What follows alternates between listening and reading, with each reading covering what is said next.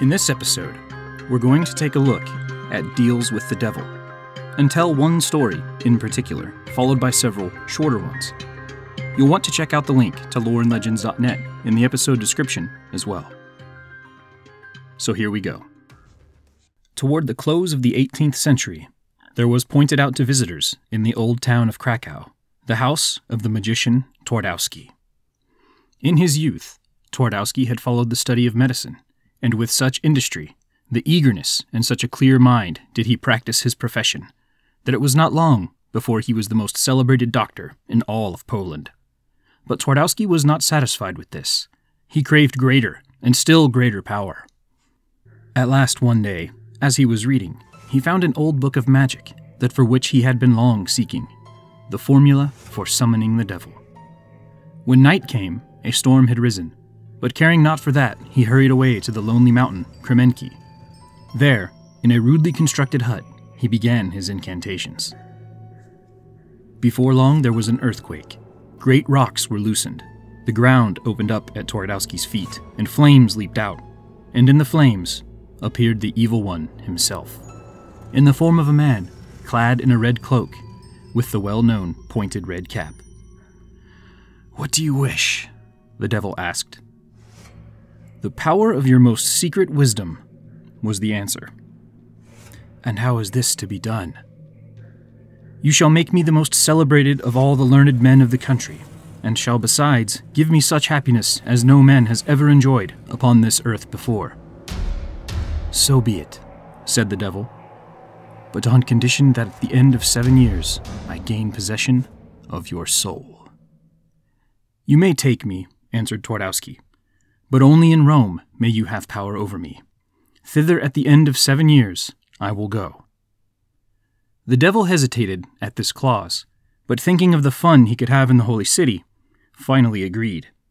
Leaning against the wall of the stone, he wrote the compact, with Twardowski, making a slight wound in his arm, signed with his own blood. When Twardowski descended the mountain and made his way, book under arm, through the valley, he heard the bells in all the towers of the city ringing out clearly and solemnly on the still night air. He listened, wondering at the unaccustomed noise, then hurried into the town, inquiring from everyone he met what the occasion was. But no one seemed to have heard the sound. Then a deep feeling of sadness came over him as he realized the meaning of the bells. They were the funeral knell of his own soul. When morning came, however, doubts were forgotten, and Twardowski was glad to have the devil at his command. The first thing he demanded was to have all the silver of Poland gathered together in one place and covered over with great mounds of sand. Similar requests follows, and it was not long before the devil repented of his bargain. One day it would please Twardowski to fly without wings through the air, on another to delight the crowd, to gallop backward on a rooster, on another to float in a boat without a rudder or sail, accompanied by some maiden who for the moment had inflamed his heart. One day, by the use of his magic mirror, he set fire to the castle of an enemy over a mile away. This last feat made him greatly feared by people far and wide. At last, the seven years were up. The devil appeared to Twardowski and said, Twardowski, the time of our pact is over, and I command you to fulfill your promise and go to Rome. What shall I do there? Give me your immortal soul, was the answer.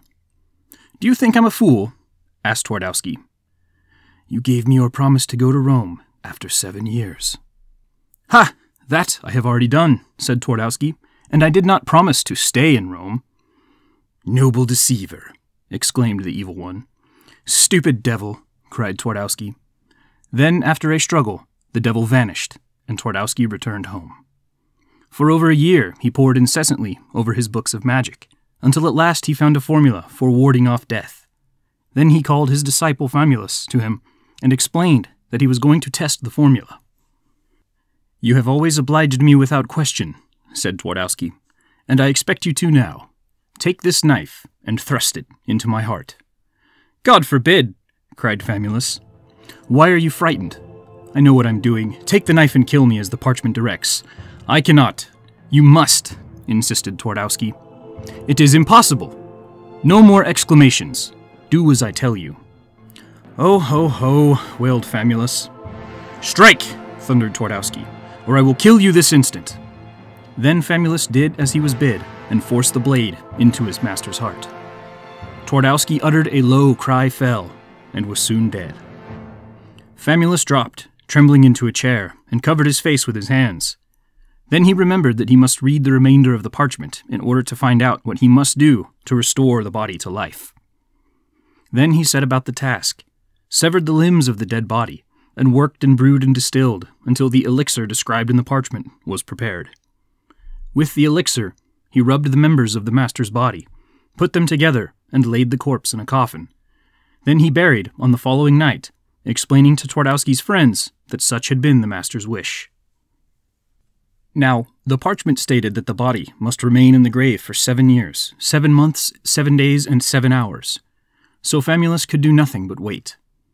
At last, the time had expired, and on a snowy, cold December night, he found his way to the grave.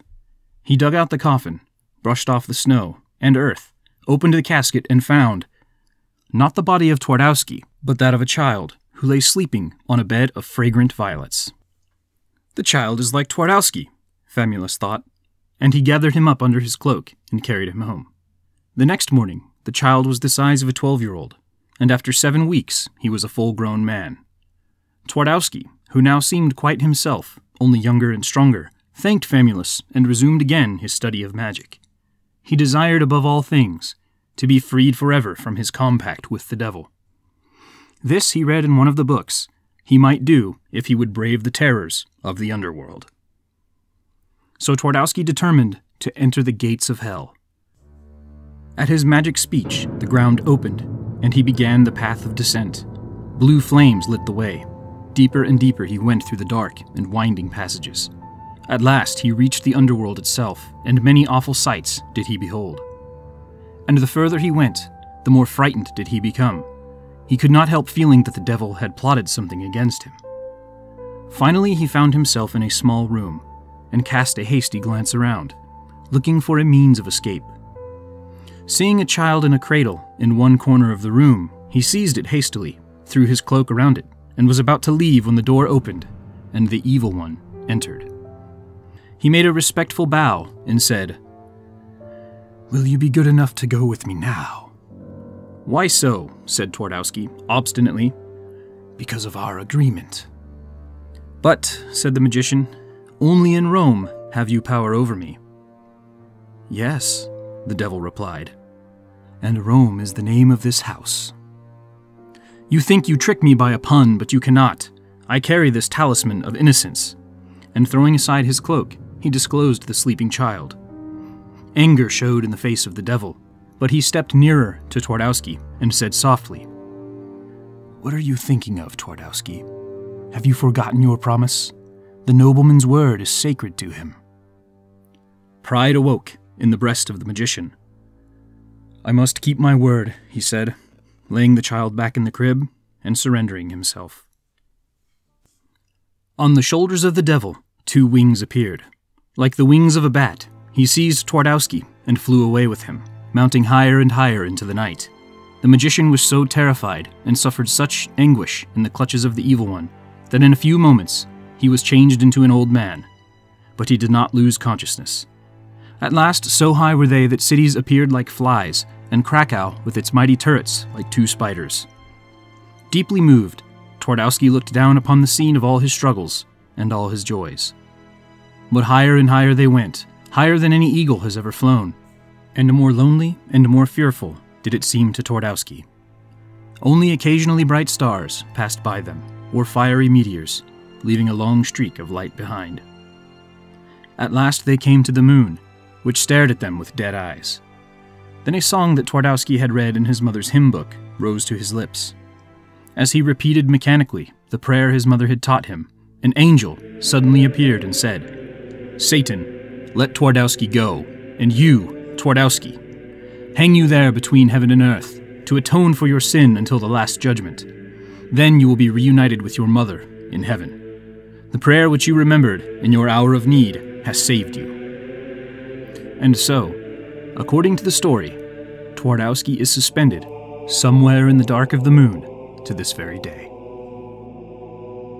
This Faustian legend comes from Poland and is a classic in the same vein as Goethe's Faust, where the main character makes a deal with the devil, their soul, in exchange for prominence. In this tale, Twardowski tries to outsmart the devil with the clause about only being able to have his soul claimed while he's in Rome. But in the long run, the devil outsmarts Twardowski by getting him into a house in hell that is called Rome. Twardowski is ultimately saved by an angel after he remembers a prayer that his mother used to say. But there was another catch. Now he would be stranded on the moon until final judgment, and he remains there to this day.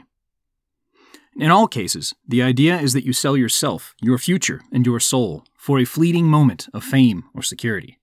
So let's look at a few other cases, starting with the original Deal with the Devil. It isn't actually Faust. It's the story of Saint Theophilus of Adana. Yes, a man who is now titled a saint allegedly made a deal with the devil. Theophilus was a deacon of the church in the early 6th century. One day, he was approached about becoming a bishop.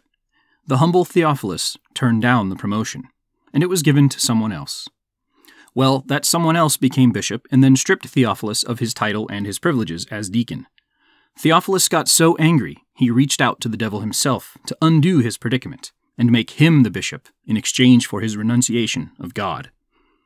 Theophilus then became bishop for many years, but as time wore on, he grew older and wiser, he realized what a foolish mistake he'd made. Eternity was a much bigger issue than revenge and status. He fasted for 40 days, much like Jesus in the desert, and much like our protagonist Twardowski, appealed to heaven. Heaven then visited him and informed him that since he was penitent and asked for forgiveness, his sins were in fact forgiven, and the contract he'd signed with the devil was destroyed. And that is why he is now also, at times, called Saint Theophilus the Penitent.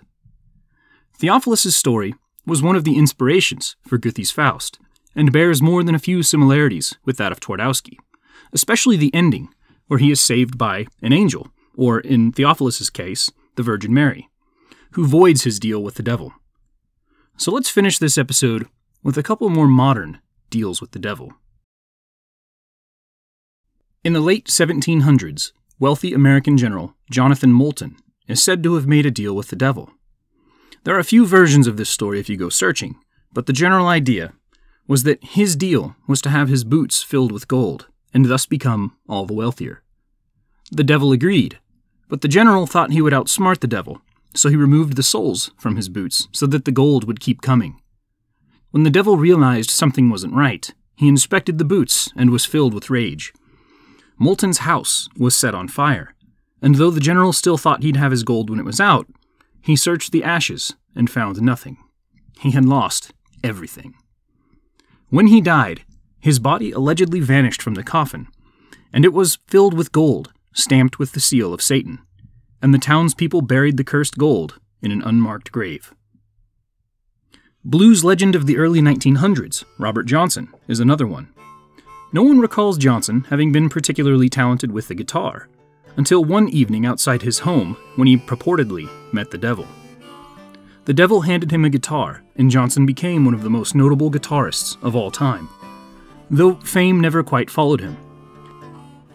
Johnson died in 1938 at age 27 after drinking some mysteriously poisoned whiskey at a show.